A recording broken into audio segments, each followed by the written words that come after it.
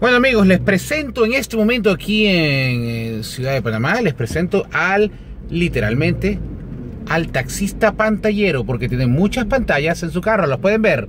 Bueno, ese es, vamos a acercarnos a ver nuevamente, ese es el taxista pantallero de Panamá.